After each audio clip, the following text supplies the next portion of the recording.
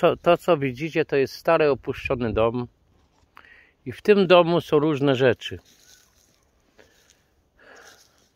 Całe części do komputerów, e, części do laserowych kserokopiarek. Różne rzeczy tam są. Jaki to samochód w nocy zajechał i to zostawił. E, warto, warto temu się przyjrzeć. Skąd to jest, bo jakieś tam kartki są jeszcze poprzyczepiane. Warto, warto e, zobaczyć. Albo niech się ktoś, ktoś się tym zajmie. Także pozdrawiam wszystkich.